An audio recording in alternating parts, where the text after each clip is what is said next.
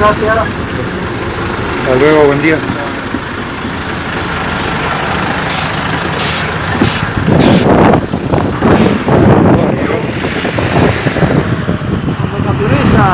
Como dice la astronave, Sí.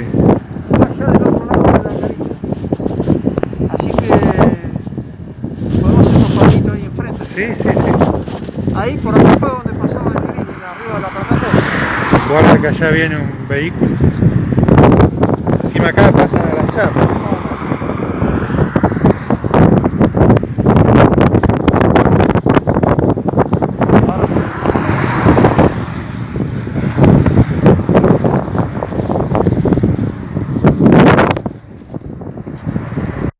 Hola amigos, ¿cómo les va?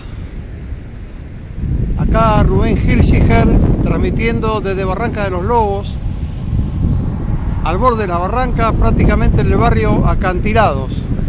Hoy es lunes 31 de enero del año 2022. Y Me encuentro, vení Carlito, me encuentro con mi amigo colaborador y investigador Carlos Iván Pasowski. Ahí va a aparecer en cámara, Carlito. A ver, a ver, a ver si te puedo ver. Ponete acá al lado mío, Carlos. Bueno, estamos cazando ovnis acá en esta zona, que hay muchos registros. Yo ya tengo varias capturas acá. Así que bueno, estamos eh, en tren de investigación. Un par de horitas venimos a ver si podemos capturar algo. El día mucho no acompaña, hay viento, está medio fresco, el mar está bastante roto. Pero bueno, vamos a ver. eh, El tema es dilucidar lo que nos esconden, eh, lo que no, que no, este, lo que no nos muestran. Así que bueno, nos lavan el cerebro con muchas cosas, este, pero acá arriba hay muchas realidades. ¿eh? Así que bueno, les dejo un abrazo a todos, un beso grande y cuídense, cuídense. Dios los bendiga a todos. Chao Carlito, decí chao. Chao, saludos. Carlito, ¿tenés algo para decir vos? No, estaría bueno que amplíes sobre la captura de tu amigo Gustavo, de ese supuesto pájaro que se ve claramente haciéndole suma al video, que desaparece en un fotograma y como que se teletransporta en el segundo siguiente y aparece como más hacia adentro en el horizonte. Bueno, esa es una de las cuestiones extrañas que Gustavo me hizo llegar un video de aves, aves que se teletransportan, que desaparecen en el aire y aparecen en otro lado. Cosas raras. Acá ocurren cosas raras. Indudablemente es un área de portales. ¿eh? Yo voy a mostrar el mar ahora atrás mío. Acá tengo la barranca a pocos metros. Sabemos que ahí frente a la ciudad de Mar del Plata tenemos la base atlántica. ¿eh? Tenemos una base enorme en ese lugar. Así que bueno, no nos extraña que, que acá en los portales pasen ese tipo de cosas raras, ¿no? Por eso estamos con Carlos Pasowski acá en este lugar. Bueno, amigos, no hay mucho más para, para mostrar. Les voy a mostrar las barrancas. Bastante picado el mar.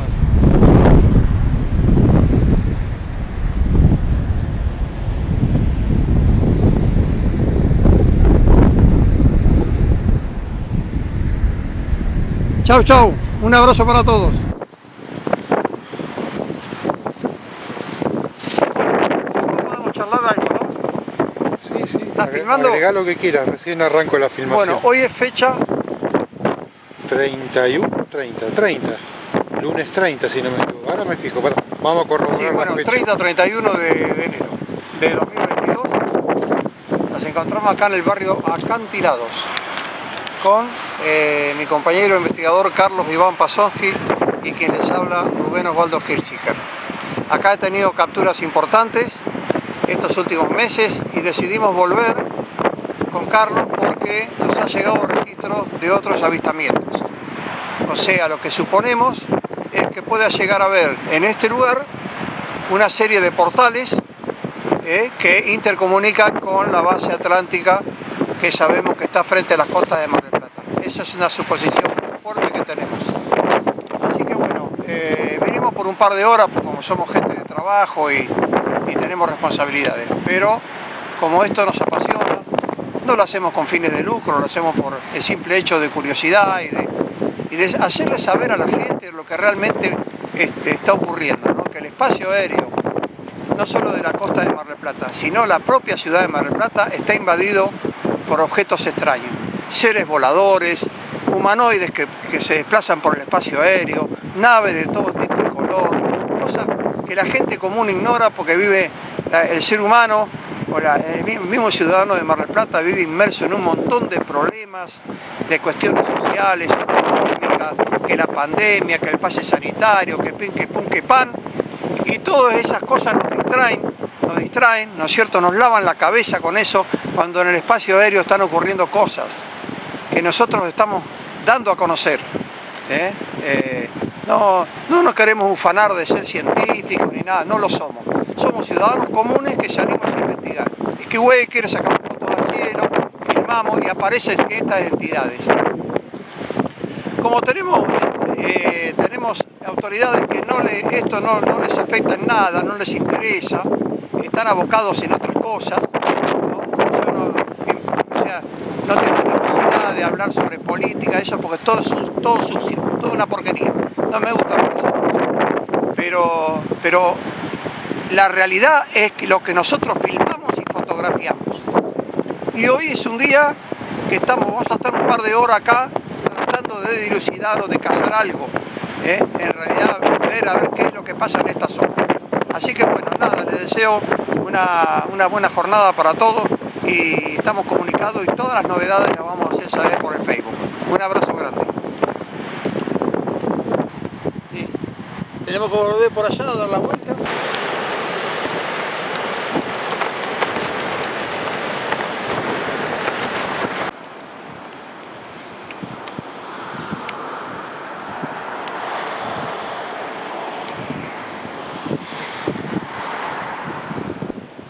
Ah, puede ser un. ¿Parapente? Sí, uno de esos que anda con la vela. Bueno, listo entonces. Vamos a esperar el bondi. Vamos a esperar el bondi. Justo me llamaron por teléfono. Bueno, eh, apareció esa cosa rara entre las nubes y después te, conté que, que nadie más la vio y que no me dio tiempo, viste, a avisarle a nadie. Desapareció justo. Y después anduvo el helicóptero no sé, debe ser la policía de la ciudad. Uno o dos helicópteros andaban dando vueltas, estuvieron toda la noche. Eh, y después, esta anécdota que te cuento ahora es pasó acá en San Telmo. Estaba eh, sentado en, en, el departamento de una exnovia, estábamos hablando, y la ventana principal que da a la calle también daba al, digamos, al frente de mi edificio que estaba en la, cuadra, en la calle, digamos, paralela detrás. Y, es el único edificio así alto, entonces se ve todo el edificio. Y la, edificación que está enfrente de lo de mi novia es bajita, entonces se ve el edificio atrás. Y también vi un, como una bolsa negra, una cosa así rara, flotando detrás del edificio, justo detrás de los tanques de agua, que se veía justo, desde donde yo estaba, se veía justo. Es como si hubiese sido a propósito y se quedó ahí bollando, no sé, unos cuantos segundos, ¿viste? Y a, todo esto, bueno,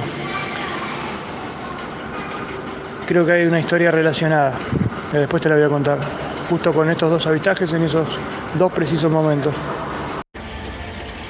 Es más, Charlie, te, lo voy a, te voy a contar algo para que vos eh, nada, para que alguien, viste, escuche algunas cositas. Y de repente me sirve a mí para después ampliar y hacer un audio más complejo. Viste que justo me pasaste un, audio en donde hablas de los textos ovnis de morfología variable. Bueno, yo te había contado que una vez he estado trabajando en, la, en un call center por el centro, en Esmeralda y Corrientes. Y este call center eh, era para convertir mensajes de, voz a texto. Bueno, no importa, estaba ahí y yo te había contado que una tarde de verano, no me acuerdo de qué año, 2008, 2009, 2009 me parece que fue. Em, nada, estaba trabajando ahí y a la tarde generalmente, como había un desfasaje de horario, porque nosotros trabajábamos con mensajes de España. Entonces había un rato a la tarde en donde nadie nadie mandaba mensaje porque estaban todos durmiendo, ¿viste? Eh, y en ese interín, un día yo eh, hay un barullo bárbaro, están, viste, haciendo un quilombo bárbaro, jugando las cartas, gritando, tirándose bollo de papel, un desastre.